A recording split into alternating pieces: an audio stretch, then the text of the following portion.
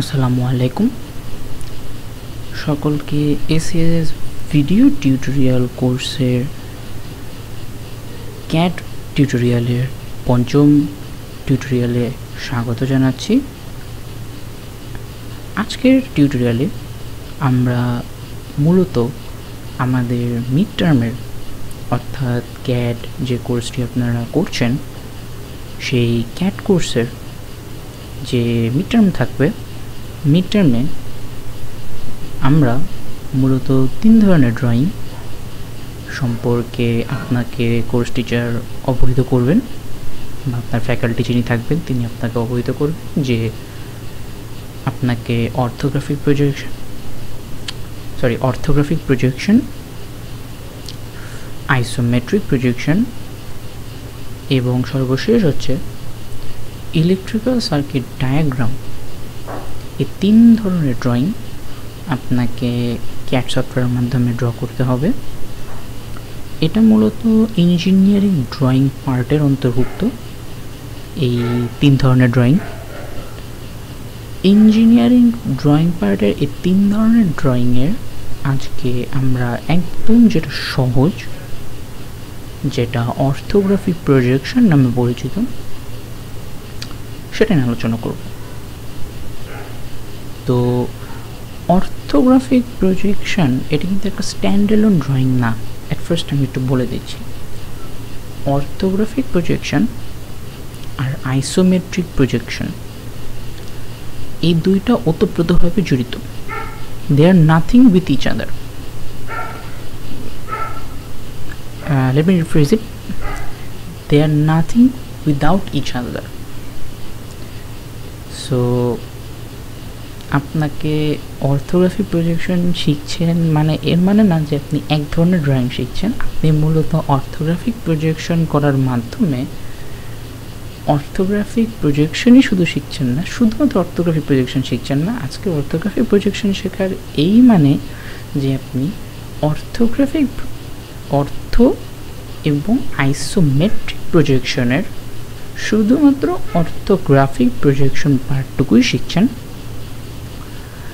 আমরা আপনাদের বোঝার সুবিধার্থে জিনিসটা বিস্তারিতভাবে আলোচনার জন্য অর্থোগ্রাফিক প্রজেকশন পার্টটাকে আলাদা করে ফেলেছি।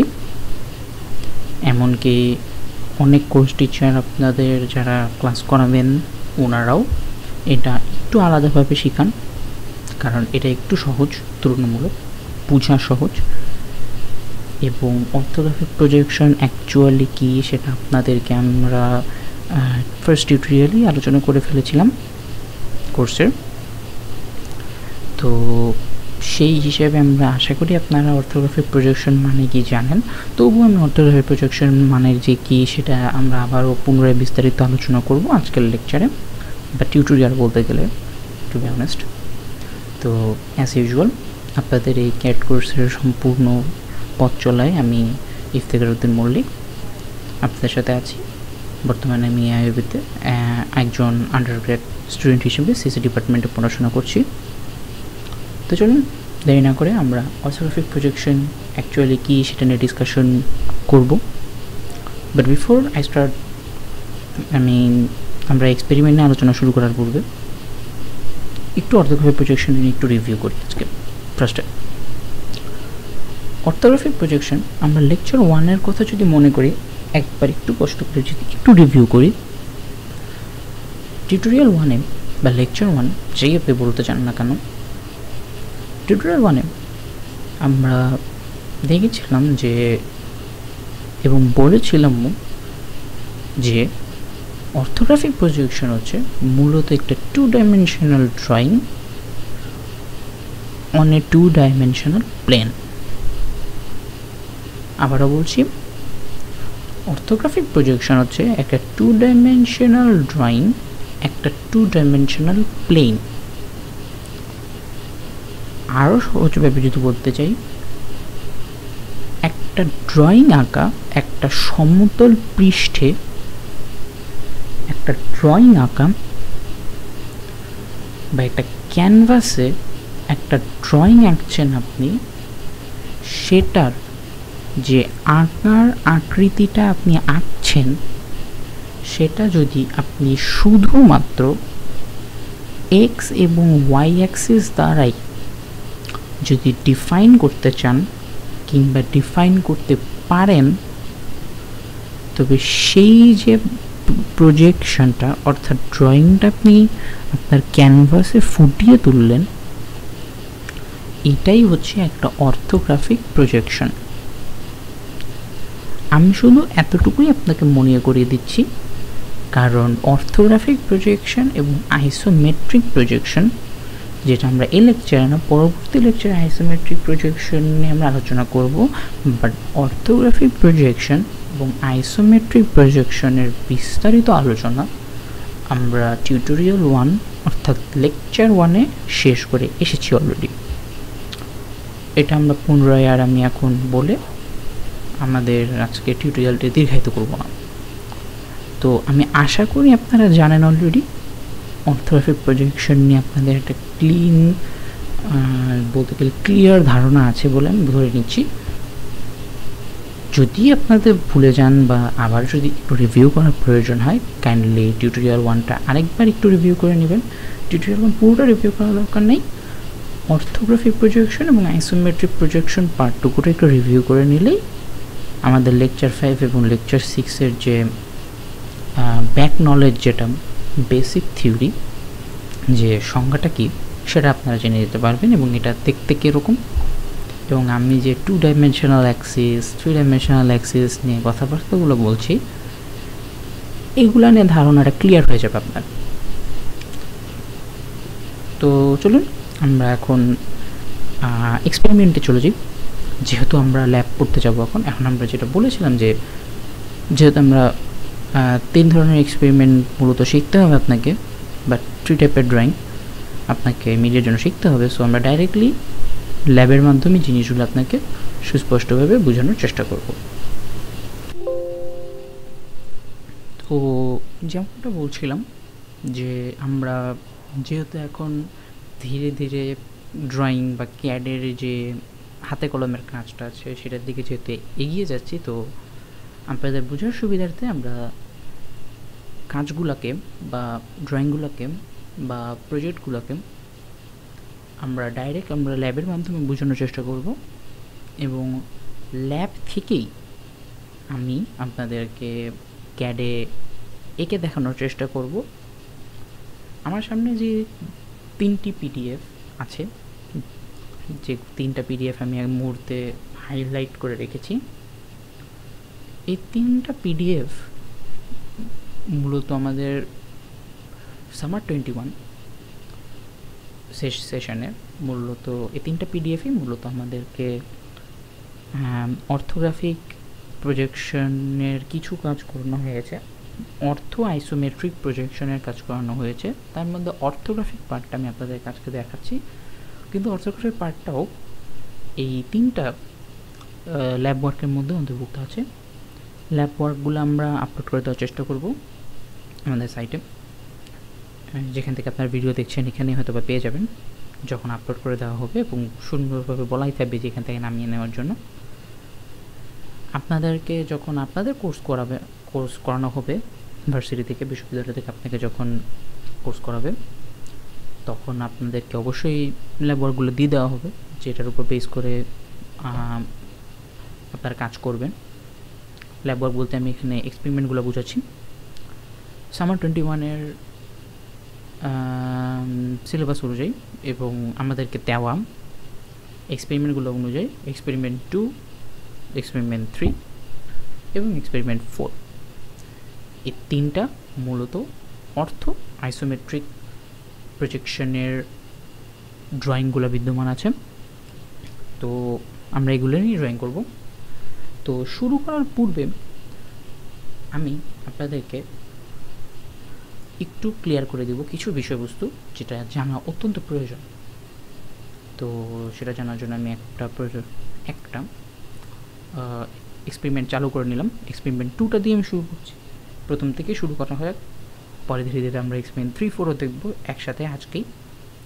শুধুমাত্র আমি আমরা বলছি আজকে শুধুমাত্র আপনারা অর্থোগ্রাফি প্রজেকশনের দিকে আমরা মনোযোগ দিচ্ছি। কাইন্ডলি আজকে আইসোমেট্রিক প্রজেকশনটা নিয়ে আমরা তেমন একটা গুরুত্বপূর্ণভাবে ভাববো না বাট আমি একটা কোরিলেশন আপনাকে এখন বুঝিয়ে দিতে চেষ্টা করব। আমি একাধিকবার বলছি যে, একবার বলছি যে আজকে অর্থোগ্রাফিক প্রজেকশন আমি আপনাদেরকে বোঝাবো, আবার হঠাৎ করে আমি বলছি যে অর্থ আইসোমেট্রিক প্রজেকশনের ল্যাব এগুলা। অর্থ আইসোমেট্রিক দ্বারা আসলে কি বোঝাচ্ছি আমরা?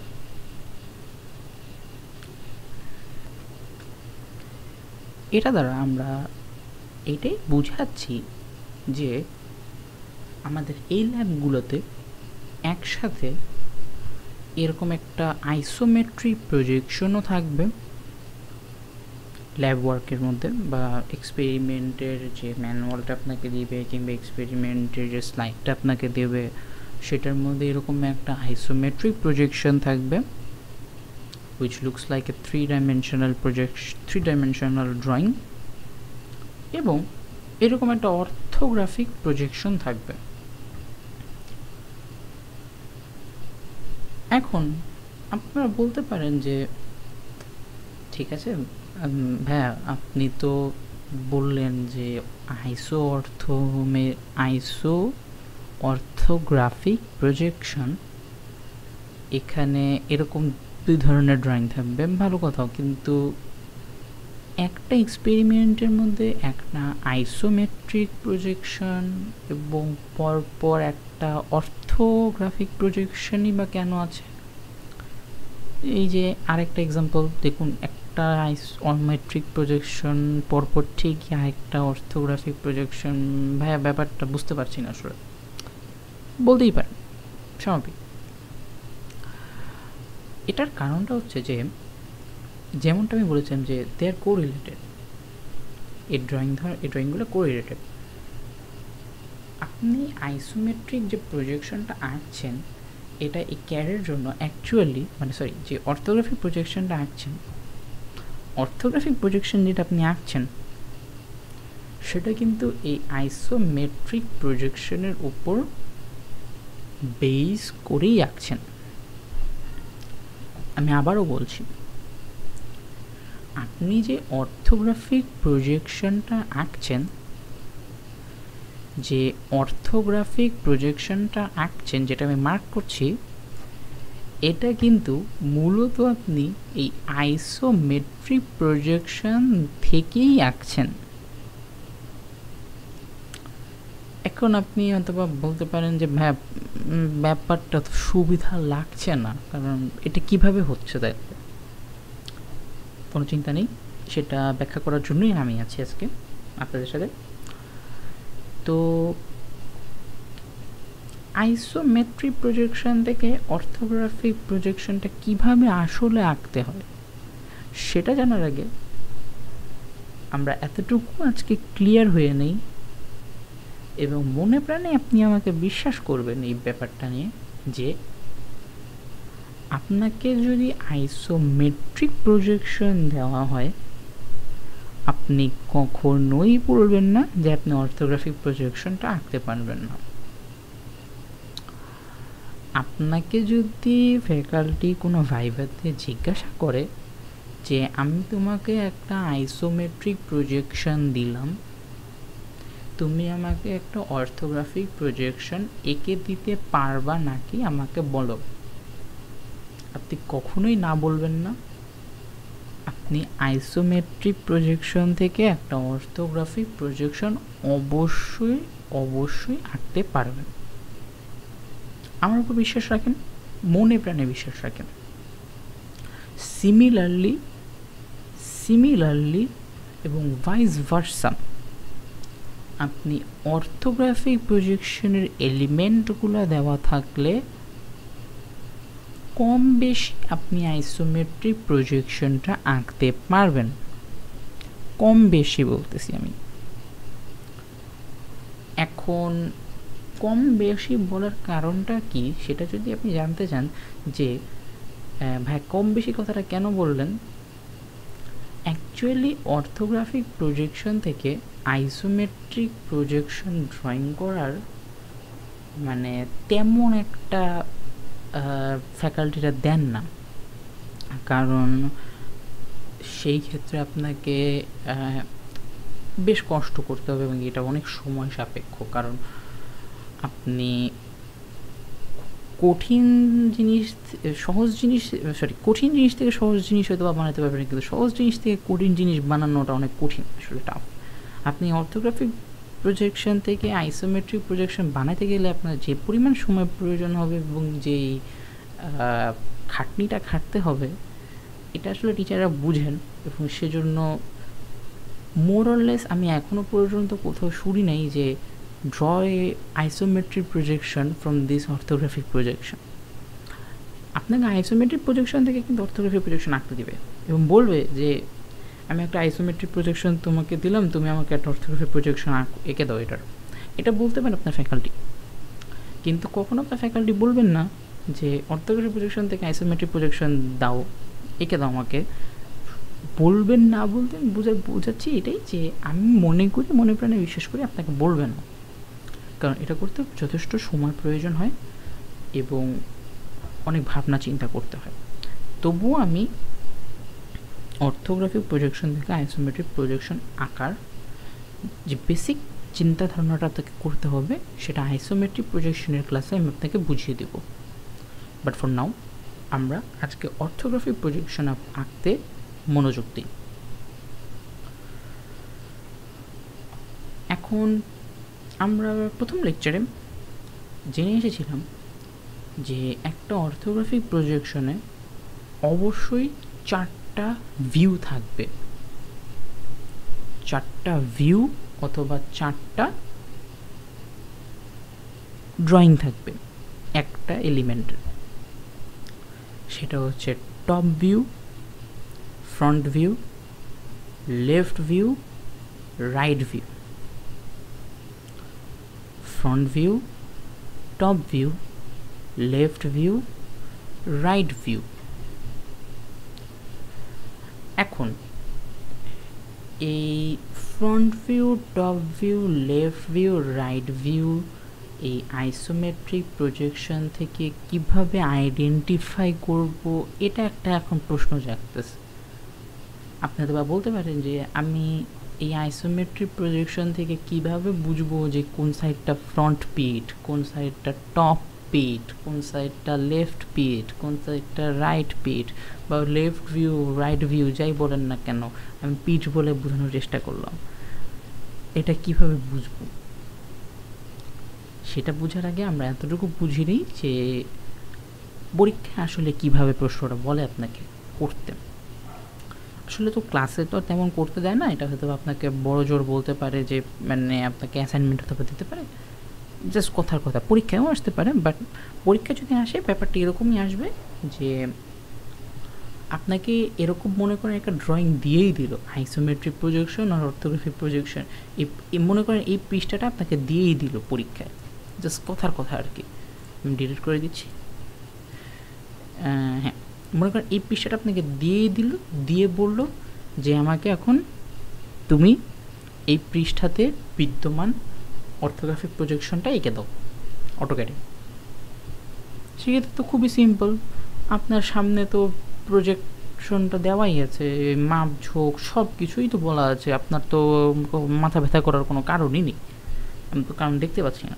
আপনি শুধু এটাকে মতো আপনি অটোক্যাট সফটওয়্যারের মধ্যে সুন্দর মতো লাইন টুল ইউজ করে যে মাপ আছে সে মাপগুলো দিয়ে দিয়ে সুন্দর মতো ড্রয়িং করে ফেলবেন কোনো চিন্তা নাই আপনার। একদম ইজি জিনিসটা, অনেক সহজভাবে এঁকে দেবেন। এটা তো করলে আপনার জীবন সহজে একদম। কিন্তু মাঝে মাঝে ফ্যাকাল্টিরা তো আপনাকে বলতে পারেন কিংবা তো কোর্স টিচার আপনার বলতে পারেন যে, আমি তোমাকে এই শুধুমাত্র এই অর্থোগ্রাফি প্রজেকশনটাই দিয়ে দিলাম। এই যে এতটুকু প্রশ্ন দিলাম আপনাকে দিল মনে করেন। দেওয়ার পর আপনাকে বলল যে, তুমি আমাকে অর্থোগ্রাফি প্রজেকশনটা এঁকে দাও। এখানে একটু ঝামেলা লেগে যাচ্ছে। আমি কীভাবে অর্থোগ্রাফি প্রজেকশন আঁকবো? কারণ ফ্রন্ট ভিউ কোনটা টপ ভিউ কোনটা রাইট ভিউ কোনটা লেফট ভিউ কোনটা, এটা তো আমার জানা নেই। এটা তো আমার জানা নেই। সেটা বোঝার জন্য আমাদেরকে প্রথমে বুঝতে হবে যে অবশ্যই অবশ্যই আমাদেরকে একটা গুরুত্বপূর্ণ কাজ করে নিতে হবে যখন আপনাকে এই ধরনের কাজ করতে বলবে, যে একটা সাইডকে আপনাকে ফ্রন্ট ভিউ ধরে নিতে হবে যদি প্রশ্নে ফ্রন্ট ভিউটা চিহ্নিত করে না দেওয়া থাকে।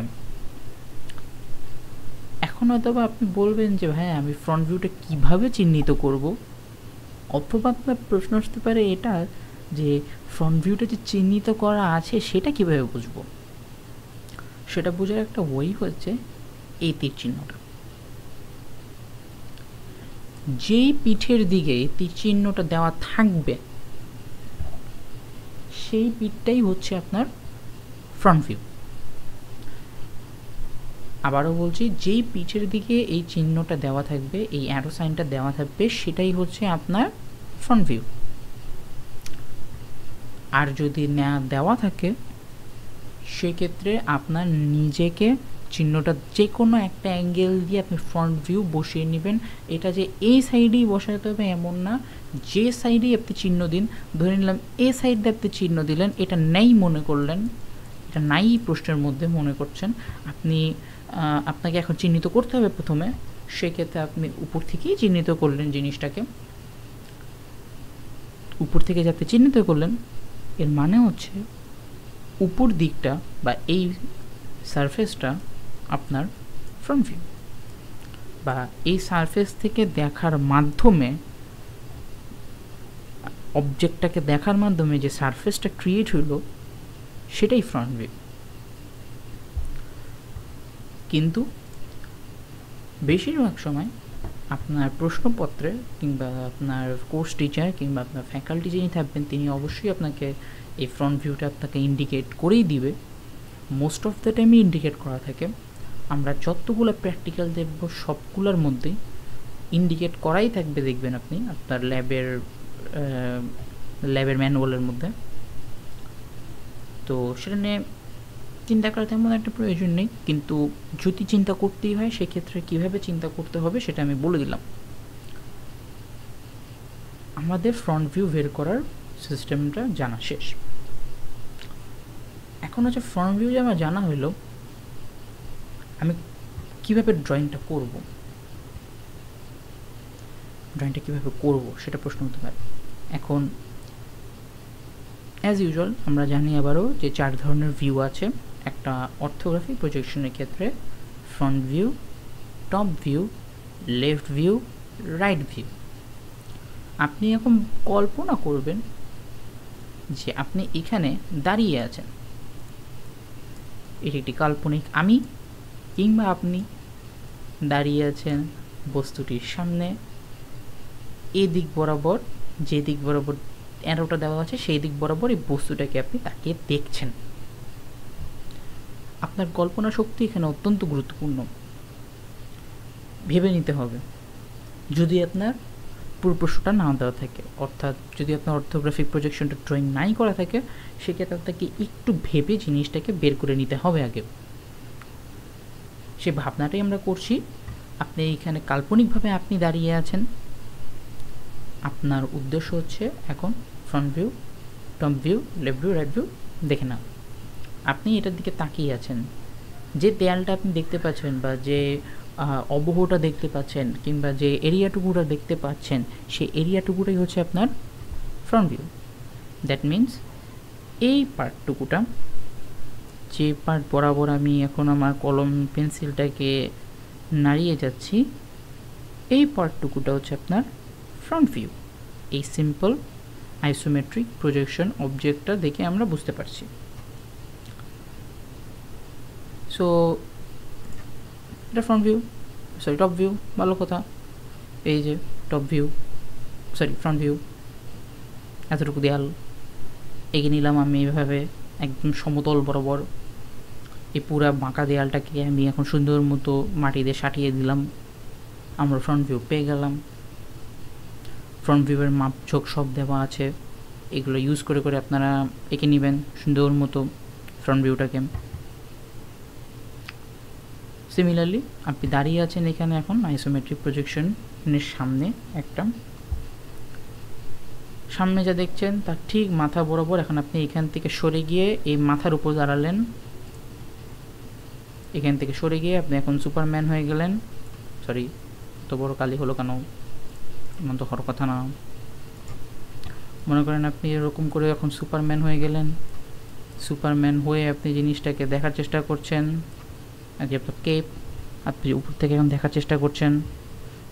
এই পার্টটুকুটা হচ্ছে আপনার automatically top view common sense similarly left view বোঝার জন্য আপনাকে এই অ্যারোর লেফট কোনটা সেটা বুঝতে হবে। আপনি যদি এখানে দাঁড়িয়ে থাকেন, সেই ক্ষেত্রে যখন এই দেয়ালটাকে দেখছেন লেফট হচ্ছে এই সাইডেরটা অটোমেটিক্যালি এই পার্টটুকুটা লেফট যে পার্টটুকুটা আমি এখন কমলা কালার করলাম। সো লেফটটাকে এখন আঁকলেন আপনি। এই যে আঁকলেন লেফট সিমিলারলি রাইট পার্টটা আঁকা নেই, কিন্তু আপনি কল্পনা করে নিতে পারেন অটোমেটিক্যালি যে লেফট সাইডে যা আছে রাইট সাইডে তো তাই হবে। রাইট সাইড ভিউটাই কি নিলেন এখানে? সিম্পল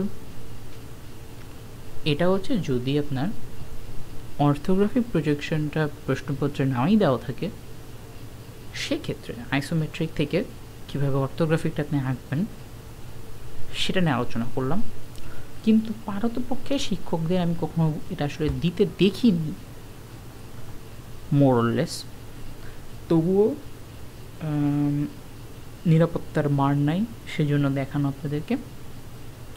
জেনে নিলেন, জেনে রাখলেন, এবং এই আমি এখন যে অর্থোগ্রাফিক প্রজেকশনটা দেখাবো ওই অর্থোগ্রাফিক প্রজেকশনটা আঁকার পর নিজ দায়িত্বে একবার একটা আইসোমেট্রিক প্রজেকশনটাকে এই ল্যাবগুলোর যে কোনো একটা আইসোমেট্রিক প্রজেকশনকে আপনি এই এক নাম্বারটা বাদে অন্য যে কোনো একটা, যেহেতু আমি এটা ডিসকাশন করে ফেলেছি, এটা বাদে অন্য যে আরও প্রজেকশনগুলো আছে, এটার নিচের প্রজেকশনগুলো কিংবা আরও অন্য স্লাইডের যে প্রজেকশনগুলো আছে সেই প্রজেকশনগুলোর যে কোনো একটাকে আপনারা অর্থোগ্রাফিক প্রজেকশন বানানোর চেষ্টা করবেন নিচ থেকে।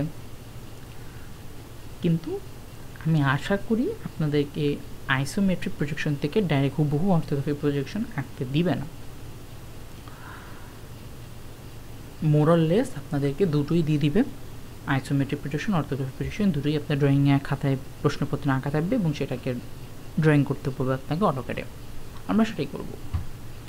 সিম্পল অ্যাজ দিস এই যে আমার এখানে অর্থোগ্রাফিক প্রজেকশন আমাকে মাপ ঝোঁক সব কিছু দেওয়া আছে। আমাকে শুধুমাত্র আপনি এটাকে অটোকেটে এখন ড্রয়িং করতে হবে। মানে এটা তো ড্রয়িং করা তেমন কিছুই না।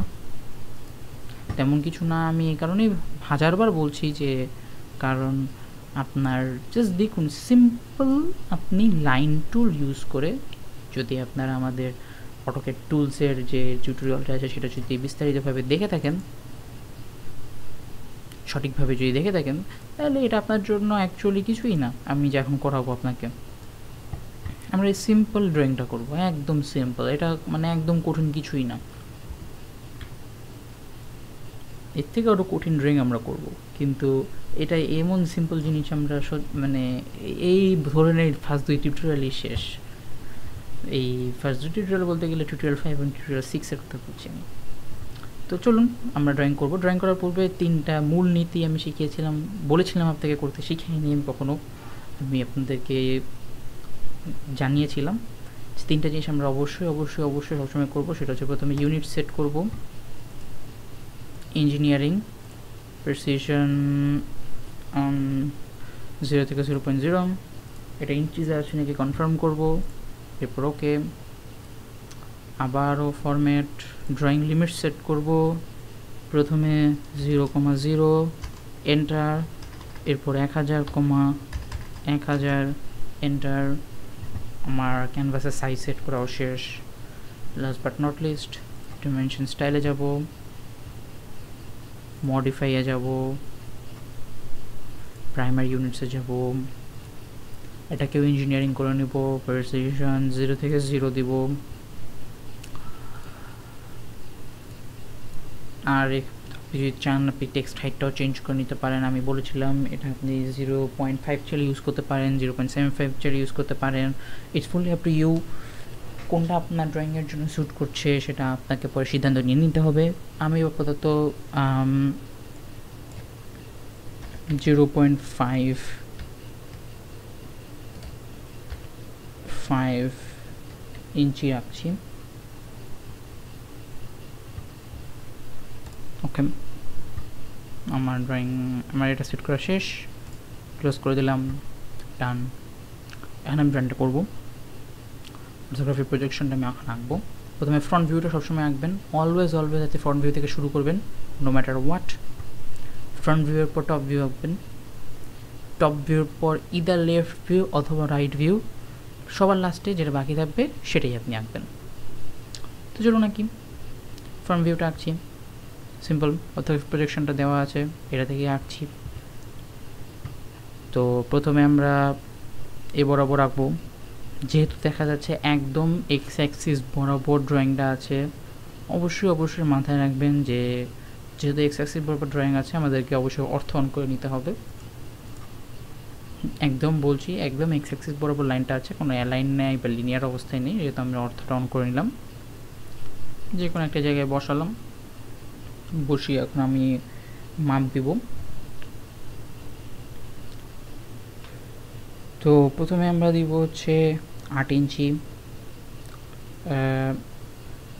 আমার এখানে কমন বক্স কিছু ডাটা চলে এসেছে ভুলে মানে এটা ভুলে টাইপ করেছে ডাজেন্ট ম্যাটার এইট এরপর ইঞ্চ এন্টার আমার আট ইঞ্চির লাইনটা কাটা শেষ হরাজন্টালি আমি একটু জুম করি যেন আপনাদের বুঝতে সুবিধা হবে। হরাজন্টালি আমার আট ইঞ্চি আঁকা শেষ। এরপর ভার্টিক্যালি আমাকে এক ইঞ্চি আঁকতে হবে। এইদিকে প্রথমে কার্সারটা টেনে নিলাম। দেখা যাচ্ছে লাইনটা যে এটা উপর দিকে যাবে। শুধু মাপটা দিতে হবে আমাকে এখন which is one inch enter দেখুন, আপনি নাড়ালে দেখতে পাচ্ছেন যে আপনার একটা পর্যায়কে ভেঙে যাচ্ছে। আপনি যে অ্যাজিউম লাইনটা এঁকেছিলেন প্রথমে, টেনে নিয়েছিলেন কার্সারে যে অ্যাজিউম লাইনটা দেখিয়েছিল, তার একটা পার্ট নিচের দিক দিয়ে ভেঙে গিয়েছে। নিচের দিকের এই পার্টটুকুটাই হচ্ছে আপনার ওয়ান ইঞ্চ এই পার্টটুকুটা ওয়ান ইঞ্চ এখন এ পাশে আবারও আমাকে আট ইঞ্চি নিতে হবে। আট ইঞ্চি আমি টাইপ করলাম কমান্ডে নিচের যে কমান্ড আছে জাস্ট আমি এইট ইঞ্চ টাইপ করলাম। এন্টার দিলাম। এবার জাস্ট নিচে আমি এটার সাথে মিলিয়েও দিতে পারি। মিলিয়েও দিতে পারি। মিলিয়ে দেওয়ার জন্য অবশ্যই অবশ্যই অবশ্যই অস্ন্যাপ চালু করে নিয়ে তারপর এটার একটু জুম করে নিলে ভালো। না করলেও সমস্যা নেই, আমি জুম ছাড়াই করি। এটার একদম এন্ড পয়েন্টের সাথে পয়েন্ট টু পয়েন্ট ধরলে আপনার অটো লক হয়ে যায়। আপনার কার্সারটা অটো লক হয়ে যায় বা বক্স সাইনটা আসে বক্স সাইনটা মানে লক হওয়ার মতো অবস্থায় আছে। আপনি ছাড়লে এখানে জাস্ট একটা মাউসের লেফট ক্লিক ক্লিক করলে আপনার বসে যাবে লাইনটা কিংবা আপনি যদি অস্নেপ অন করে না করতে চান, সেক্ষেত্রে সিম্পলি ওয়ান ইঞ্চ টাইপ করে হিন্টার চাপ দিলেও আপনার এই যে কাজটা আমি করলাম, এখন অস্নেপের মাধ্যমে সিমিলার কাজটি আপনার হয়ে যাবে এই ড্রয়িংটার জন্য। এতটুকু বক্স আমাদের আঁকা শেষ। সো আমরা এখন ইএসি চাপ দেবো একবার। আবারও লাইন টুল অন করব। অস্ন্যাপ পেপার আপনাকে অবশ্যই অবশ্যই অন করতে হবে, কারণ আমরা ঠিক এই মাথা থেকে, এই পয়েন্টটা থেকে আমরা কাজ করব। ক্লিক দিলাম আমি। একটু জুম আউট করলাম আমি। এদিকে আমাদেরকে তিন ইঞ্চি ড্রয়িং করতে বলেছে। থ্রি ইঞ্চ আমি ইনপুট নিলাম। কমান্ড বক্সে এন্টার দিলাম। নাড়াচাড়া করছি, তার মানে এখন আমার দেখা যাচ্ছে যে এটা একটা পয়েন্টে ভেঙে গিয়েছে ব্রেক হয়েছে আমার এক্সট্রিমেটেড লাইনটা থেকে। দ্যাট মিনস এটা হচ্ছে থ্রি ইঞ্চ লাইন আমাদের। ডান দিকে আমি এখন এইট ইঞ্চ লাইন আঁকবো, কারণ এখানে যদিও এখানে আপনার উপরে বলা নেই এইট ইঞ্চ আপনি সিম্পল ইম্যাজিনেশন বা আপনার দেখার মাধ্যমে আপনি বুঝতেই পারছেন যে এই লাইনটা আট ইঞ্চি হলে আর এই লাইনটা আট ইঞ্চি হলে অবশ্যই অবশ্যই এই লাইনটাও আট ইঞ্চি হবে অটোমেটিক্যালি সিম্পল থিঙ্কিং সো আমরা আট ইঞ্চি আঁকলাম আবার। আবারও এইট আমার কমান্ড বক্সে এইট আগে থেকে দেওয়া ছিল। এখন শুধুমাত্র ইঞ্চ সাইনটা আমি ইউজ করব। ইউজ করে এন্টার আপনারা দেখতেই পাচ্ছেন যে ইঞ্চির আট ইঞ্চি ক্রিয়েট হয়ে গিয়েছে এবং আমি কার্সেটা নাড়ালে একটা পর্যায়ে গিয়ে আট ইঞ্চি ব্রেক হয়েছে যে সেটার প্রুফ দেখা যাচ্ছে। এখন আমরা জাস্ট এই পয়েন্টের সাথে অস্তাম যেহেতু অন করা আছে সিম্পলি মিলিয়ে দিতে পারব টার্গেটিংয়ের মাধ্যমে। জাস্ট এখানে এই আনার মাধ্যমে আমি এখানে জাস্ট হচ্ছে, যখন দেখব লক হয়ে যাচ্ছে একটু একটু করে কার্সারটা দিয়ে। লেফট ক্লিক দিয়েছিলাম। লেফট ক্লিক দেওয়ার মাধ্যমে আমাদের ড্রয়িংটা করা শেষ। ফ্রন্টের এসি চাপ দিলাম। আমি আমার টুল থেকে বের হয়ে গেলাম অ্যান্ড আমাদের ফ্রন্ট ভিউ আঁকা শেষ। সিম্পল জিনিস একদম কোনো কঠিন কিছুই আমরা আঁকি এখন একটা ব্যাপার হচ্ছে যে ক্যাডে আমরা সবসময় বলেছিলাম আপনাকে যে অবশ্যই অবশ্যই অবশ্যই লাইনের মা, পরিমাণটা দেখানো আপনার জন্য ফরজ। সেটা আমরা জেনেছিলাম আপনাদেরকে, জানিয়েছিলাম যে আপনারা ডাইমেনশন থেকে যেহেতু এটা এক্স এবং ওয়াই অ্যাক্সিস বরাবর আমরা সবগুলা লাইন এঁকেছি সো লিনিয়ার মোডটা অন করার মাধ্যমে আমরা ইজিলি এগুলোর মাপ দেখাতে পারব। আমরা লিনিয়ার মোডে প্রথমে গেলাম ক্যানভাসের উপর রাইট ক্লিক করলাম। রাইট ক্লিক করার মাধ্যমে একটা বক্স আসলো। এই বক্সটাকে ঠিক এই লাইনটার উপর হভার করলে একটা ছোট্ট, দেখতে পাচ্ছেন একটা ইলাস্ট্রেশন শো করছে। দ্যাট মিন্স এই লাইনটার মাপটা সে এখন বের করতে পারবে চাইলে। লেফট ক্লিক দিলাম। লেফট ক্লিক দেওয়ার মাধ্যমে বাইরে টেনে আনলাম। একটু টেনে এনে আমি আবারও লেফট ক্লিক দিলাম। আমাদের তিন ইঞ্চির লাইন যে ক্রিয়েট হয়েছে সেটা প্রুফ দেখা যাচ্ছে, কিন্তু খুবই বিশ্রী দেখাচ্ছে। সো অনিবার্য কারণবশত আমাকে ডিমেনশন স্টাইলে গিয়ে মডিফাইতে যেতে হচ্ছে টেক্সটের টেক্সট হাইট কীভাবে সিক্স ইঞ্চ হয়েছে আমি জানি না সামাও হয়েছে। আমরা এটাকে টেন ফিট করছি। ফিট করে ওকেতে ক্লিক দিচ্ছি। ক্লোজে ক্লিক দিচ্ছি। কিন্তু মনে তো ছাড়ও জঘন্য হয়ে গিয়েছে অবস্থা। এমন কেন হচ্ছে? কঠিন ব্যাপার সেটা। যাই হোক আরও ছোটো যেহেতু করতে হবে, করব, কিছু করার নেই। আবারও যাই ফিট ইঞ্চের ঝামেলা, এই প্রথমবার কয়েকটা বার সেট করতে আপনাদের যত ঝামেলা হবে। কেন এটা আমার এরকম হচ্ছে? না, ব্যাপারটা তো সুবিধার না। ম্যানুয়ালি করি।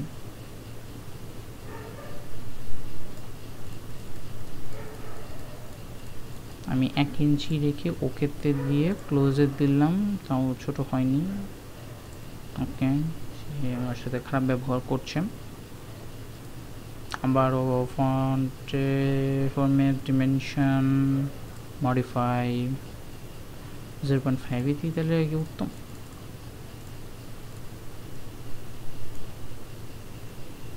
ফাইভ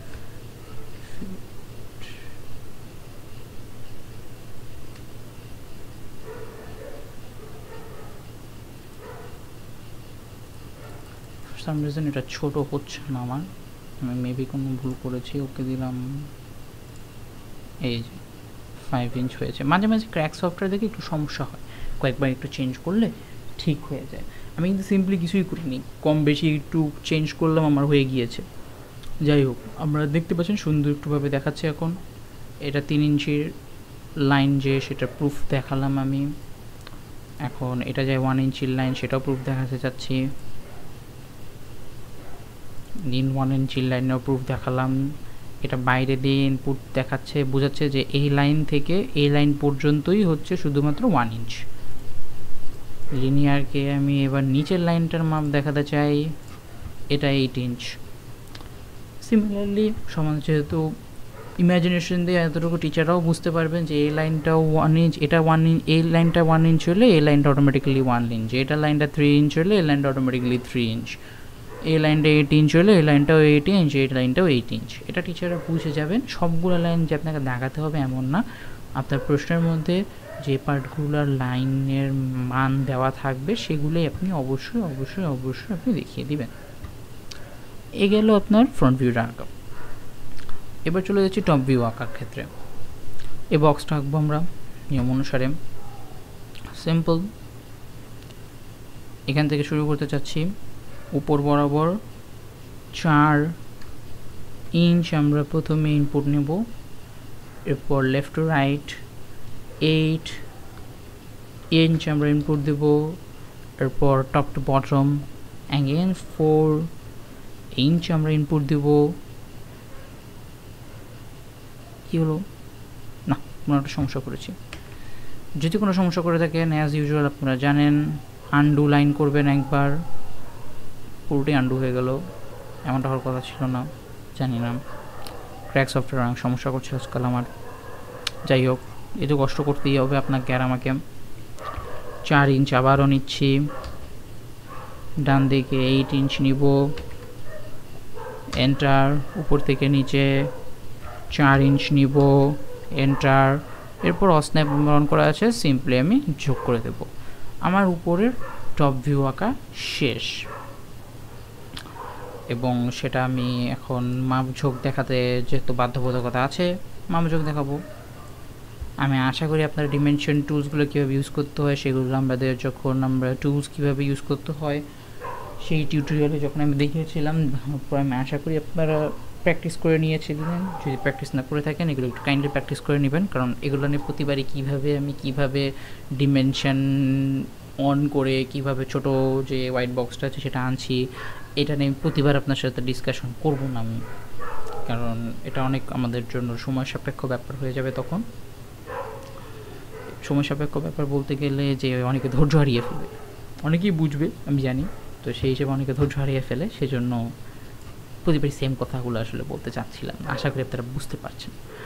তো এটা শেষ, আমাদের ফ্রন্ট ভিউ আর টপ ভিউ আঁকা শেষ। এখন আমরা লেফট ভিউটা আঁকছি, যেহেতু লেফট ভিউয়ের মানটা দেওয়াই আছে। সিম্পল লেফট মান যেহেতু দেওয়া আছে, আমরা লেফট আঁকি। এখান থেকে আঁকা শুরু করি। Left sorry right to left আপনার ফোর ইঞ্চ প্রশ্নের মধ্যে মান বলা আছে। ফোর ইঞ্চ ইনপুট দিলাম। ফোর ইঞ্চে একটা লাইন ক্রিয়েট হলো। Bottom to top one inch মান বলা আছে। ওয়ান ইঞ্চ ইনপুট দিলাম। একটা ওয়ান ইঞ্চ লাইন ক্রিয়েট হলো স্মল লাইন এরপর top bottom to top three ইঞ্চের মান বলা আছে। থ্রি ইঞ্চ দিলাম। একটা থ্রি ইঞ্চ লাইন ক্রিয়েট হলো আমার। Similarly left to right four inch হবে অটোমেটিক্যালি ফোর ইঞ্চ দেওয়ার পর, এখানে এসে অনেকে একটা ভুল করে। বিশাল ভুল। বিশাল ভুলটা কি? অনেকেই করে ডাইরেক্টলি আপনার এই জায়গাটা থেকে এই জায়গায় অস্ন্যাপ অন করা আছে বা আমার তো আর ইনপুট দিতে হবে না, আমি এখন যোগ দিয়ে দিই। এই ভুলটা করে থাকি। ভেবে নেবেন দুইবার। কোনো কাজ করার আগে ভেবে নেবেন দুইবার। কেন বলছি? আপনি এ পাশে লাইনটা আঁকার সময় আপনি জানেন যে আপনি দুইবার ডাটা ইনপুট দিয়েছেন। দুইবার ডাটা ইনপুট দেওয়ার মানে হচ্ছে যে আপনাকে এখানে দুটো সেপারেট লাইন আঁকতেই হবে অবশ্যই। এই ধরনের ফাঁকিবাজিগুলো করবেন না কেন? বা এই ধরনের শর্টকাটগুলো নিতে যাবেন না কেন? আপনার দুইবার ডাটা ইনপুট দিয়েছেন তার মানে আপনাকে কষ্ট করে হলেও এই পাশেও দুইবার ডাটা ইনপুট দিয়ে আবারও এই লাইনটা আঁকতে হবে। এখন যেহেতু টপ টু বটমে যাচ্ছি টপ টু বটমের মান হচ্ছে থ্রি ইঞ্চ সিমিলারলি এ পাশেও টপ টু বটমের মানটা হবে থ্রি ইঞ্চ আমরা থ্রি ইঞ্চের একটা লাইন প্রথমে আঁকবো। আঁকা শেষ। এইবার আপনি চাইলে ডাইরেক্ট যোগ করে দিতে পারবেন। যেহেতু আমরা লাস্ট লাইনটা ড্র করব এখন, এ বক্সে এই পয়েন্ট থেকে এই পয়েন্ট ডাইরেক্ট মিলে যাবে। সো আমরা ডাইরেক্ট মিলিয়ে দিলাম। অস্ন্যাপ অন হওয়া অবস্থায়। অস্ন্যাপ আর অর্থ অন্য অবস্থায়।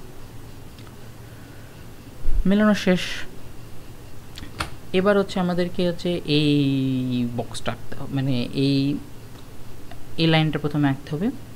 এই লিনিয়ার লাইনটা লিনিয়ার লাইনটা আঁকি। অস্ন্যাপ অন করা আছে নাকি আমি অবশ্যই চেক করে নিলাম, কারণ আমাকে এখানে একটু স্ন্যাপিং করতে হবে। একটা পয়েন্টে আমাকে এখানে একদম চেষ্টা করতে হবে মার্কারে হিট করার জন্য। এই যে হিট করলাম হিট করা যাচ্ছে। এখানে একটা পয়েন্ট দেখা যাচ্ছে। এই পয়েন্টে আমি একবার লেফট ক্লিক করলাম। লেফট ক্লিক করার মাধ্যমে একটা লাইন ক্রিয়েট হচ্ছে। ঠিক এই পাশের ওয়ান ইঞ্চ লাইনের এন্ড পয়েন্টে আমরা এটাকে কানেক্ট করে দেব। নাও অর্থ অফ অবস্থায় আমরা এখন এই পয়েন্ট থেকে এই পয়েন্ট মিলানবো যেহেতু আপনার ড্রয়িংয়ে এই পয়েন্ট থেকে এই পয়েন্ট মিলানো আছে, মিলিয়ে দিচ্ছি একবারই। মিলালাম। এখন আপনি এই পয়েন্ট থেকে এই পয়েন্ট মিলানোর জন্য প্লিজ প্লিজ আবারও এই মাথা পর্যন্ত একটা লাইন টেনে দেন এই মাথা, এই মাথায় কানেক্ট করে দিবেন না। এখানে কিন্তু তাহলে একটা ডাবল লাইন ক্রিয়েট হয়ে গেল এবং এবং এই ডাবল লাইন ক্রিয়েট হওয়ার জন্য অনেক সময় আপনার প্রপারলি ডাইমেনশন শো করে না। আমি বলছি, এটা জাস্ট আমার আগে ঘটে ছিল তাই আমি বলছি যে, এ ধরনের শর্টকাট করতে গিয়ে কাইন্ডলি হচ্ছে আপনার ড্রয়িংয়ের জন্য পিছনে প্রচুর সময় ব্যয় করতে হয়, এমন কোনো কাজ করবেন না। কষ্ট করে হলেও ইএসসিটা একবার চাপ দিয়ে আপনি টুল থেকে বের হবেন, আবারও লাইন টুলটা অন করবেন, অস্ন্যাপ অবস্থায় আপনি এইখানে আবারও মার্কার বসিয়ে এখানে লাইন টুলের একটা পয়েন্ট বসিয়ে বা স্টার্টিং পয়েন্ট বসিয়ে এই মাথা পর্যন্ত অস্ন্যাপ অন অবস্থায় কানেক্ট করে দিবেন। আপনার কাজ শেষ। আমাদের এই পাশে ড্রয়িংটা শেষ। এই পাশের ড্রয়িং শেষ, কিন্তু আমি এই পাশের এখনও পর্যন্ত আমি ডিমেনশনটা বা ডাইমেনশনটা শো করাবো না। কেন করাবো না? এখানে একটা চিকন চিকন বুদ্ধি আমরা ব্যবহার করব। এই বুদ্ধিগুলো ইউজ করবেন আপনারা যে লেফট ভিউ আর রাইট ভিউ ছবি দেখুন। কোনো পার্থক্য কি আছে আপনারা দেখতে পাচ্ছেন? কোনো পার্থক্য নেই কিন্তু। সো যদি কোনো পার্থক্যই না থাকে, তাহলে আমি এটাকে আমরা যে কপি সিলেকশন সিস্টেম শিখেছিলাম, প্রথমে আমরা সিলেকশন বক্স ক্রিয়েট করার মাধ্যমে পুরোটাকে সিলেক্ট করব দেন এটার উপর right click copy selection select করলাম। যদি একটু অর্থন করা থাকে, ভালো হয়, তাহলে লেভেল বরাবরই মুভ হবে। মুভ করে এখানে ছেড়ে দিলাম। কপি হয়ে গিয়েছে, দেখতে পাচ্ছেন একটা কপি ইএসসি চাপ দিলাম। আমার সিমিলার লেফট ভিউটা রাইট ভিউ হিসেবে ক্রিয়েট হয়ে গেলো। আপনাকে কষ্ট করে আবারও তিন মিনিট বা দুই মিনিট বা পাঁচ মিনিট ব্যয় করে এটাকে আবার নতুন করে ড্রয়িং করতে হলো না। সিম্পল এবার আপনি লেফট ভিউটা যেহেতু মাপযোগ দেওয়া আছে আমাদেরকে মাপযোগটা শো করাতে হবে। মাপযোগ শো করাই। ডিমেনশনে গেলাম লিনিয়ারে গেলাম রাইট ক্লিক লেফট ক্লিক বাইরে আবারও লেফট ক্লিক তিন ইঞ্চের লাইন সেটা প্রুফ দেখাচ্ছি আমি, দেখে ফেললাম। আবারও ডিমেনশন থেকে লিনিয়ার থেকে ওয়ান ইঞ্চি লাইন প্রুফ করার জন্য লাইন আবার দেখালাম। এটা আমার ওয়ান ইঞ্চ লাইনের ডিমেনশন এই যে ওয়ান ইঞ্চ লাইনের ডিমেনশন শো করেছে। আবারও ডিমেনশনে গিয়ে লিনিয়ার থেকে আমি টুল ইউজ করে লাস্ট বাট নট লিস্ট নিচের চার ইঞ্চ লাইনের ক্যালকুলেশনটা শো করিয়ে দিই এভাবে একদম লাস্টে আপনারা left view front view right view top view a multi line tool use করে বা টেক্সট টুলটা ইউজ করে কাইন্ডলি লিখে নিতে পারবেন। এতটুকু আশা করি আপনারা করতে পারবেন। এটা আমি আশাবাদী আর কি। তো লিখে নিতে পারবেন বলে আমি আশাবাদী। আমি সেটা দেখাচ্ছি না আপনাকে কীভাবে লিখতে হয় আর। কারণ কীভাবে লিখতে হয় সেই সিস্টেমটা আমরা অলরেডি হচ্ছে অটোক্যাড সেটে টুল আছে টুলের ভিডিও টিউটোরিয়াল শিখে নিয়েছিলাম কীভাবে লিখতে হয়। ওই লেখার সিস্টেমটা ইউজ করে আপনারা অবশ্যই অবশ্যই অবশ্যই left view front view right view এবং টপ ভিউ এর লেখাগুলো অবশ্যই লিখে দিবেন। শেষ। এভাবে আপনি একটা অর্থোগ্রাফি প্রজেকশন সুন্দর করে আঁকতে পারবেন। সিমিলারলি এরকম আরও বেশ কিছু অর্থোগ্রাফি প্রজেকশন আপনাকে আঁকতে হতে পারে। এই যে এখানে একটা অর্থোগ্রাফি প্রজেকশন এটা আপনার প্র্যাকটিস করতে পারবেন বাসায়। এইখানে একটা অর্থোগ্রাফি প্রজেকশন এটাও প্র্যাকটিস করতে পারবেন আপনি বাসায়। এই অর্থোগ্রাফি প্রজেকশনটা একটু কষ্টকর আছে। কাইন্ডলি একটু মাথাটা খাটিয়ে করবেন, আমি আশা করি আপনারা পারবেন। তেমন একটা কষ্ট নাই আসলে, কারণ জিনিসটা সেট করাই আছে সব কিছু সুন্দর মতো করে। আশা করি আপনারা পারবেন। এটা হিসেব নিকাশ একদমই করাই আছে। সো কোনো ঝামেলাবিহীনভাবে আপনারা করতে পারবেন। এই অর্থকম্পিটিশনটা আপনার হিসাব নিকাশ সবই বলা আছে। সুন্দর মতো করে ফেলতে পারবেন বলে আমি আশাবাদী। এবং এরকম অনেক অর্থগ্রাফি প্রজেকশন আপনি পাবেন। এক্সপেরিমেন্ট টুতে একাধিক অর্থগ্রাফি প্রজেকশন আছে আপনার। আমি একটা দেখালাম শুধুমাত্র। বাকিগুলো আপনারা প্র্যাকটিস করবেন। এক্সপেরিমেন্ট টু এর সাথে সিমিলারলি একইভাবে আপনার এক্সপেরিমেন্ট থ্রিতেও আপনার বেশ কিছু অর্থোগ্রাফি প্রজেকশন আছে, এগুলোও প্র্যাকটিস করবেন আপনারা। এই অর্থোগ্রাফি প্রজেকশনটা কিছু অর্থোগ্রাফি প্রজেকশন আছে, একটু ভাবনা চিন্তা করে আপনাকে চিকুন বুদ্ধি বের করে কাজ করতে হবে। আমি আবারও বলছিলাম অটোক্যাটের মূল বিষয়বস্তু কিন্তু দুটোই অটোক্যাটের সেটা হচ্ছে আপনি, আপনার ইমাজিনেশনটা প্রপারলি ইউজ করতে পারছেন কি না আর সেকেন্ড অফ অল আপনি ধৈর্য রাখতে পারছেন কি না আমার কিন্তু এইসব ড্রয়িং এই অর্থোগ্রাফিক ড্রয়িং আমি যখন এঁকেছিলাম প্রজেকশনগুলো এগুলো করতে কিন্তু আমার প্রচুর সময় প্রয়োজন হয়েছিল। প্রায় চার থেকে পাঁচ ঘণ্টার মতো সময় প্রয়োজন হয়েছিল এই সবগুলো ড্রয়িং করার জন্য। আমি একবারে বসেছিলাম বৃহস্পতিবার একদিন রাতে এবং এগুলো একবারে আমি সবগুলো করে ফেলেছিলাম। আমি আমার অ্যাসাইনমেন্ট হিসেবে আপনাদেরকে দেওয়া হয়েছিল, আমি তো করে ফেলেছিলাম। আপনিও? ধৈর্য নিয়ে বসবেন, ধৈর্য নিয়ে বসে প্রতিটা জিনিস আপনারা ড্রয়িং করে ফেলার চেষ্টা করবেন। আমি চাইলে আমি আপনাদেরকে সবগুলোই ভিডিওর মধ্যে দেখাতে পারব।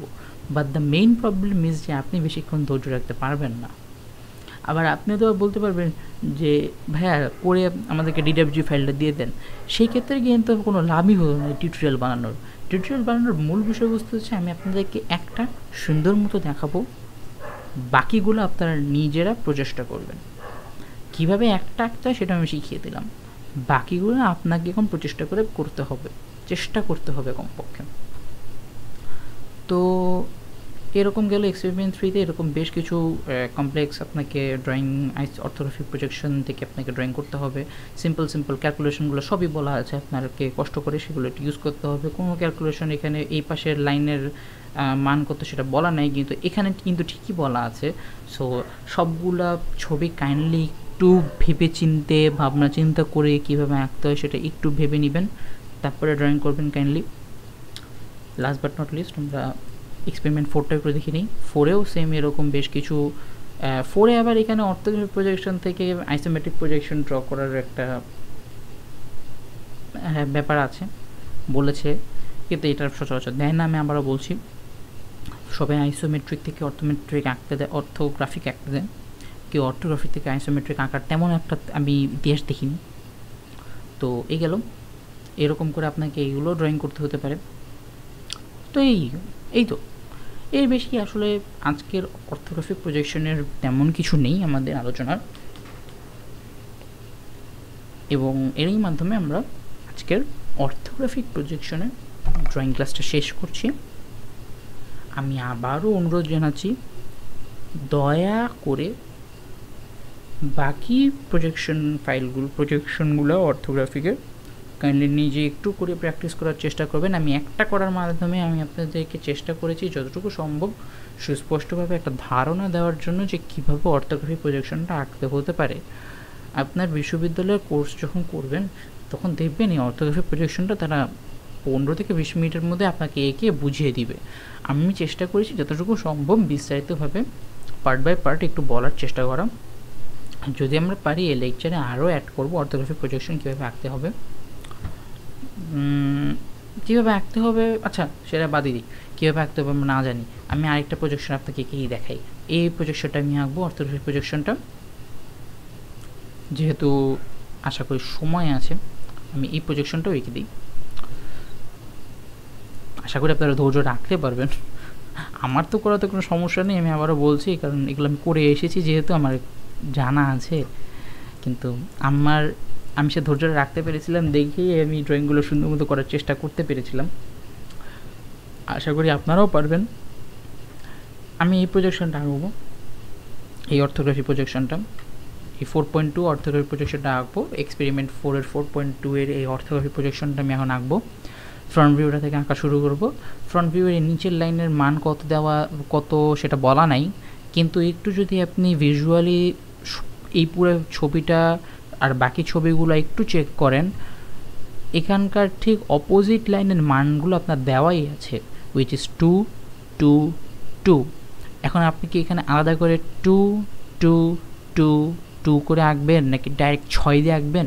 It is fully up to you যেহেতু এখানে মানটা শো করানো হয় নাই, এই প্রজেকশনের মধ্যে, সেহেতু আমরা ডাইরেক্ট চাইলে ছয় এখানে দিয়ে ড্রয়িংটা করে ফেলতে পারব। আবার বলছি, এখানে টু টু টু অর্থাৎ ছয় ইঞ্চ সাইজের একটি লাইন এখানে ব্যবহার করা হয়েছে।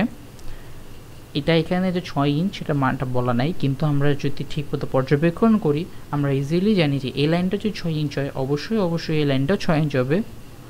সেই হিসেবে লাইনটা ইউজ করার মাধ্যমে আমরা একটা ছয় ইঞ্চির লাইন এঁকে নিই। আমি ছয় ইঞ্চ লাইন আঁকতে কমফোর্টেবল ফিল করছি। আপনার চাইলে দুই ইঞ্চ দুই ইঞ্চ দুই ইঞ্চ দুই ইঞ্চ করে তিনবার ডাটা ইনপুট দিয়ে আঁকতে পারেন it is fully up to you now vertically প্রথমে দুই ইঞ্চের একটা লাইন আঁকতে হবে। টু ইঞ্চ এম ইনপুট দিলাম এন্টার দিলাম। দুই ইঞ্চির লাইন আঁকার পর ড্রয়িংয়ে বলা আছে চার ইঞ্চির একটি লাইন আঁকতে। আমি চার সরি চার ইনপুট দিয়ে ইঞ্চ লিখে এন্টার দিলাম। আমার চার ইঞ্চি লাইনটা আঁকা শেষ। এরপর রাইট টু লেফট আপনার দুই ইঞ্চ দুই ইঞ্চ দুই ইঞ্চ আলাদা আলাদা করে দিতে হবে। যেহেতু বলাই, উল্লেখ করাই আছে আলাদা আলাদা, আপনাকে অবশ্যই আলাদা আলাদা করে দিতে হবে। এর এক পিছনেও কারণ আছে সেই কারণটা আপনারা দেখতেই পাচ্ছেন যে আপনাকে এই দুই ইঞ্চের এইট পয়েন্ট থেকে এই ফোর ইঞ্চের এই পয়েন্ট পর্যন্ত একটা লাইন টানতে হতে হবে। ভিজুয়ালি আপনার দেখানোই আছে। সো ওই ধারণা যেহেতু মাথার মধ্যে আছে, তো সেই হিসেবে তো আপনাকে আঁকতেই হবে। আমরা এখানে দুই ইঞ্চ আঁকলাম। দুই ইঞ্চ নিলাম প্রথমে। আবারও একটা দুই ইঞ্চ নিলাম, নিয়ে এন্টার দিলাম। লাস্ট বাট নট লিস্ট আবারও দুই ইঞ্চ নিয়ে এন্টার দিলাম। আমার তিনটা দুই ইঞ্চের লাইন আঁকা শেষ। এরপর ভার্টিক্যালি টপ টু বটমে ফোর ইঞ্চ লাইন প্রথমে আঁকতে হবে। যেহেতু এ লাইনটার মান এই লাইনের সমান হবে। Last but not least orthographic যদি অন করা থাকে, আপনি ডাইরেক্ট একটা টু ইঞ্চ লাইন স্ন্যাপের মাধ্যমে এঁকে ফেলতে পারবেন। অ্যান্ড দ্যাটস ইট আমাদের আউটার লাইনটা আঁকা শেষ। এখন ভিতরের এই দুটো আর লাইন আঁকবো আমরা। লাইন টুল অন করলাম। আমার অস্ন্যাপ অন করা আছে নাকি দেখলাম। অর্থ মুডটা আমি অফ করে নিলাম। যেহেতু আমি এখানে একটা লাইন লাইন আঁকবো।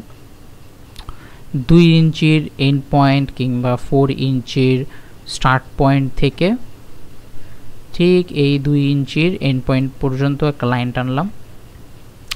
ইএসসি চাপ দেবেন অবশ্যই, পরপরই। লাইন টুল আবারও নিলাম অস্নেপ অন করে নাকি চেক করে নিলাম। এই দুই ইঞ্চির মাথা থেকে, এই দুই ইঞ্চির মাথা পর্যন্ত এক লাইন আঁকলাম। আমার ফ্রন্ট ভিউ আঁকা শেষ। ডিমেনশনটা যদি শো করে দেখাতে চাই শো করে দেখাচ্ছি। ডিমেনশনগুলো দেখাচ্ছি আমি এখন আপনাদেরকে। সবগুলো উপরের লাইন যে দুই ইঞ্চ তা প্রমাণ করে দেখালাম। লেফট সাইডে এই লাইনটার মান যে ফোর ইঞ্চ তাও আমি প্রুফ করে দেখালাম।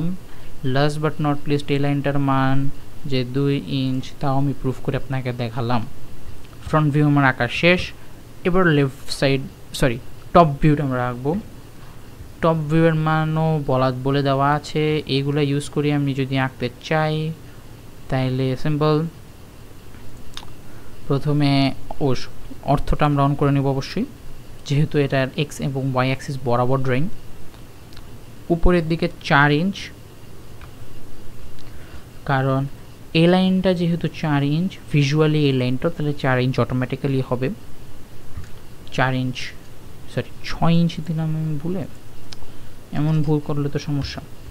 চার ইঞ্চ এদিকে লাইনটা আমি কারসারটা রেখেছি রেখে বা এস্টিমেটেড লাইনের কারসারটা রেখেছি নাকি এটা একটু কনফার্ম করে নিব। নিয়ে আমি প্রথমে এন্টার চাপ দিলাম। আমার চার ইঞ্চির একটি লাইন আঁকা শেষ। এবার আবার দুই ইঞ্চ ইনপুট দেব। কারণ এখানে দেখুন, দুই ইঞ্চির এখানে লাইন ভিজুয়াল রিপ্রেজেন্টেশন অনুযায়ী এই লাইনটা দুই ইঞ্চ হবে অটোমেটিক্যালি আমার কারসারটা দুই ইঞ্চ বরাবর আছেন উপর দিকে বরাবর আছে নাকি সেটা চেক করে নেবেন। দিয়ে দুই ইঞ্চ ইনপুট দিয়েছি। দিয়ে এখন এন্টার চাপ দিলাম। আমার দুই ইঞ্চির একটি লাইন নতুন করে ক্রিয়েট করা শেষ। Left to right six inch straight forward বলা আছে। লেফট টু রাইট আমি সিক্স ইঞ্চ দিলাম। কার্সারটাকে লেফট বরাবর নিয়ে নিয়েছিলাম আগে। সিক্স ইঞ্চ ইনপুট দিয়ে এন্টার দিলাম। এরপর টপ টু বটম আবার চার ইঞ্চ বলা। Four inch four inch input দিয়ে এন্টার দিলাম। লাস্ট হ্যাঁ ভুল করেছি। ফোর ইঞ্চ না টু ইঞ্চ হবে। আমি ডিলিট করে দিয়েছি। ফোর ইঞ্চি যে ভুল লাইনটা গেছিলাম। Top to bottom two inch two inch input দিলাম, আবারও top to bottom four inch হবে এরপর ইনপুট দিলাম right to left two inch two inch লাস্টেরটা মিলিয়ে দিচ্ছি টু ইঞ্চ ইএসসি চাপ দিলাম টুল থেকে বের হয়ে গেলাম। আবার ফ্রেশ করে লাইন টুল অন করলাম। এই মাথা থেকে আমাকে এখন আগে ভেতরের দিকে ফোর ইঞ্চির এই মাথা ফোর ইঞ্চি এবং টু ইঞ্চের মাঝখানে যে বিন্দুটা আমরা ক্রিয়েট করেছিলাম, সেই বিন্দু থেকে, বিন্দু বলতে গেলে দুইটা লাইনের মাঝখানে যে ক্যাপটা দুইটা লাইনের মাঝখানে যে আমরা ব্রেক পয়েন্টটা দিয়েছিলাম একটা ফোর ইঞ্চ লাইনটা আঁকার পরে আবার নতুন করে টু ইঞ্চ আঁকার মাধ্যমে, তার মানে এটা ফোর ইঞ্চির এন্ড পয়েন্ট টু ইঞ্চির স্টার্ট পয়েন্ট এইখান থেকে ঠিকই ভিতরের দিকে আমি কারসারটা টেনে নিব। ভিতরের এই লাইনটা অবশ্যই দুই ইঞ্চ কারণ এই লাইনটা যখন দুই ইঞ্চ অটোমেটিক্যালি এই লাইনটাও তখন দুই ইঞ্চি সেই হিসেবে ভিতরের দিকে দুই ইঞ্চি হবে। এন্টার দিলাম। এরপর নিচে আমি অস্ন্যাপ যদি অন করা থাকে সিম্পলি আপনি এই দুই ইঞ্চির মাথায় আপনি লাগিয়ে দিতে পারেন। এসি চাপ দিলাম ফ্রেশ করে নতুন করে লাইন টুল নিলাম। উপরের দিকে চার ইঞ্চ। এরপর আমি অস্ন্যাপ যদি অন করা থাকে সুন্দর করে এন্ড পয়েন্টের সাথে আপনি মিলিয়ে দিলেন।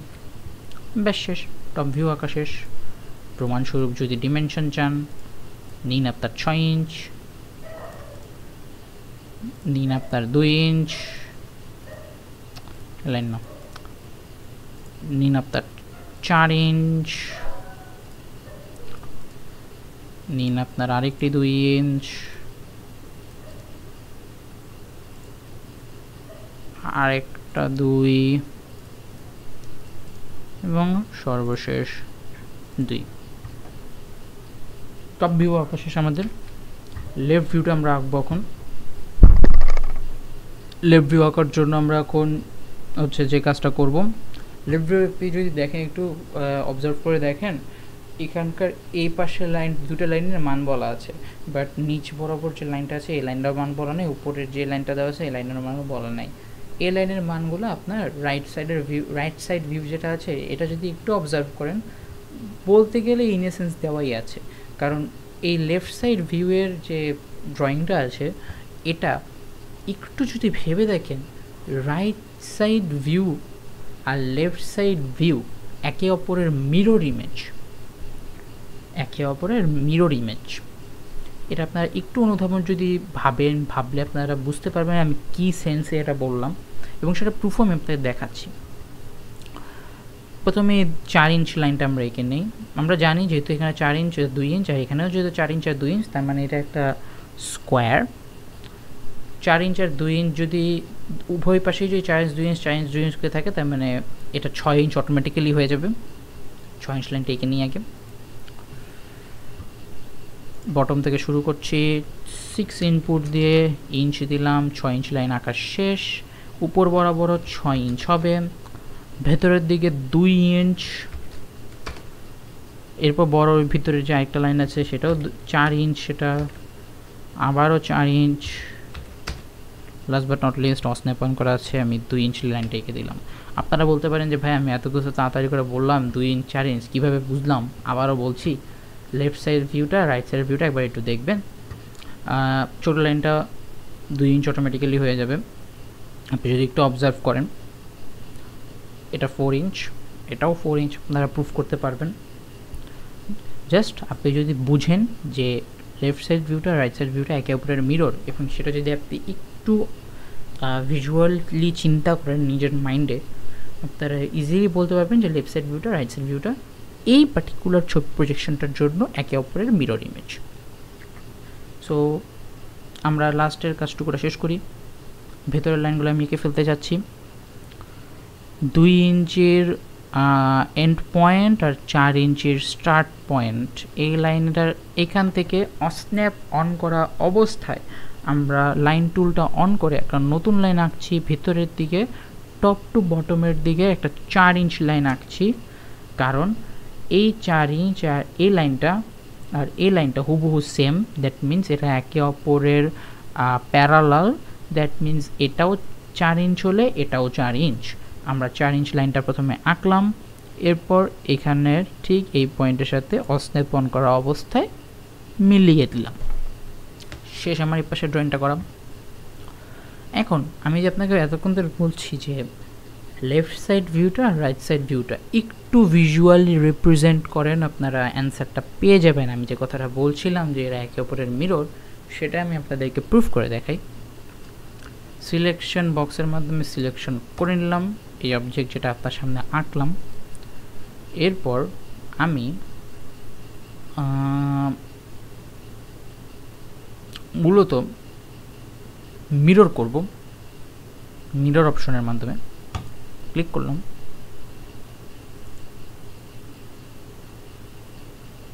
আমি ওয়াই কীভাবে মিরর করতে হয় সেই সিস্টেমটা আমি আপনাদের দেখিয়েছি। আমি ছোটো একটা ভুল করেছি, আমি এবার ইনভার্ট রিভার্ট করি। সরি আন্ডু করলাম। আবারও সিলেকশন বক্সের মধ্যে সিলেকশন করলাম।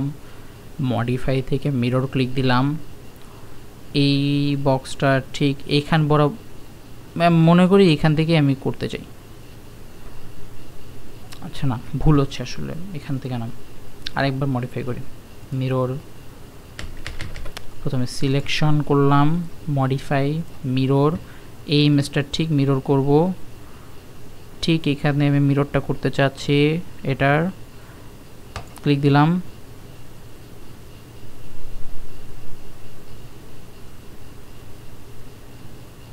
নিচে যেহেতু, এভাবে দেখালে নিচে যেহেতু দেখাচ্ছে সো আমি উপরের দিকে যাচ্ছি। উপরের দিকে গেলে আশা করি উপরের দিকেই হবে আমার। ক্লিক দিলাম।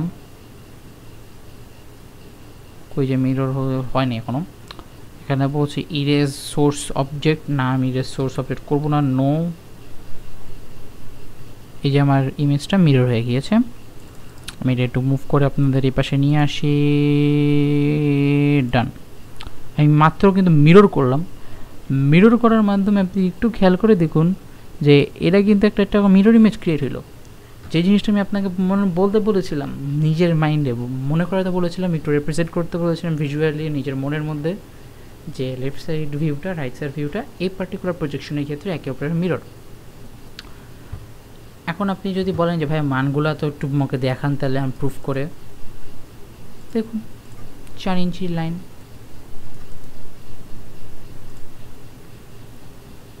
দুই ইঞ্চির লাইন। এবার বসে উপরে একটা চার ইঞ্চি সো আমি চার ইঞ্চি প্রুফ করে দেখাচ্ছি। চার ইঞ্চির লাইন ক্রিয়েট হয়েছে। আর দুই ইঞ্চি লাইনটা ক্রিয়েট হয়েছে। দেখেন, হুবহু এখানে যা আঁকা হয়েছে, তাই আমরা এখানে আঁকলাম এবং আমাদের অর্থোগ্রাফিক প্রজেকশন আঁকা শেষ। এখন আপনি হয়তো বলতে পারেন যে, ভাইয়া, আপনি কীভাবে এটা বুঝে নিচ্ছেন যে এটা একটা মিরর এই সাইডটা এই সাইডের একটা মিরর এই পার্টটা এই পার্টটা এরকম হবে, এটা কীভাবে ছয় ইঞ্চ হয়ে গেল, এটা কীভাবে বুঝলেন প্যারালাল এটা হয়তো আপনার প্রশ্ন থাকতেই পারে। সিম্পল থাকবে না যে এমন কোনো কথা না, অবশ্যই থাকবে এরকম প্রশ্ন। কিন্তু কথাটা এখন হচ্ছে যে, এটা আপনি কীভাবে বুঝবেন?